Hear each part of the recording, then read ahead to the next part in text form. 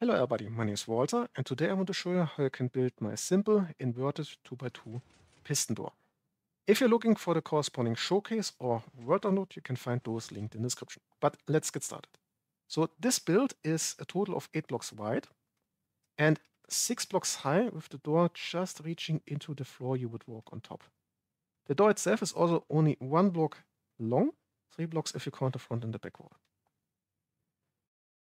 To build the store as shown here, you're gonna need some building blocks, then two obsidian blocks or immovable blocks, one half slab, and a transparent block. For this here, I'm going to use a stairs block. Also one slime block. For redstone components, it's two redstone dust, two redstone torches, two repeaters, two comparators, 10 observers, four sticky pistons, two note blocks, two hoppers, and a single lever as an input. And with that, it's time to show you how to build this door here.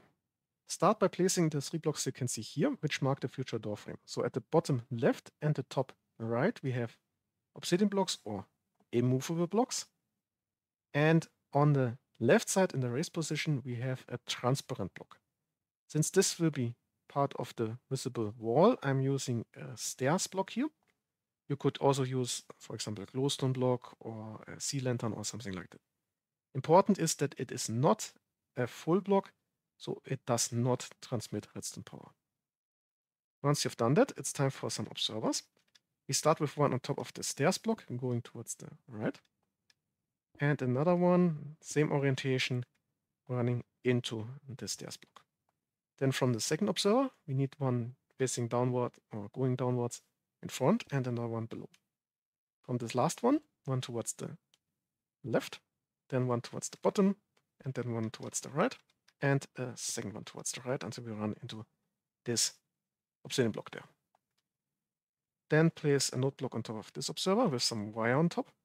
In this gap here, we need a repeater running into the observer there. On top of the repeater, another observer running into the wire. And into that observer, a comparator. Then we will need two hoppers facing each other behind that comparator. On top of the right one, place a block with a torch to the left. This will be our input, so let's place our lever here and turn it on since we want to build this in the closed position for now.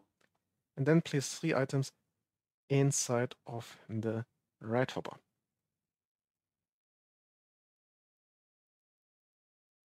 Next, grab a slab and place it next to this obsidian block here so we can place a comparator, which takes an output from this hopper there. That one runs into a full block with a torch on the side of it.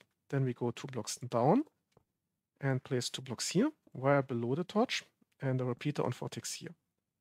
Then below the block with the wire, we need a note block. Then left of that, an observer, which runs into a slime block with a sticky piston to the face. And now all that's left is placing the other three sticky pistons in this kind of spiral pattern. And with that, we are pretty much done. So let's simply flick the lever. And you can see the door opens. And if you flick the lever again, it closes again.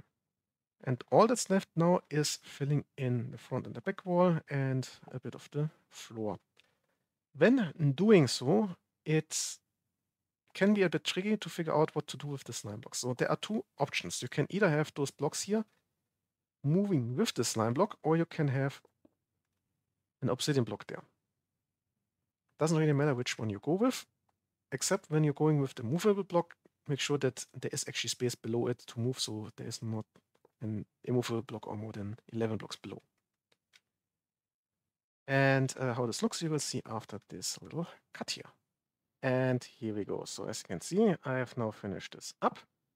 I also decided to go with the normal blocks there, so when the door opens, they are actually pushed into the bottom and you see a bit more of the side of the door. Um, I think this looks a bit nicer in the sequence and a bit more interesting, but uh, you can also use uh, obsidian blocks or similar there. But with that said, we have reached the end of this tutorial for this inverted 2x2 piston door. I hope you enjoyed it and well, see ya!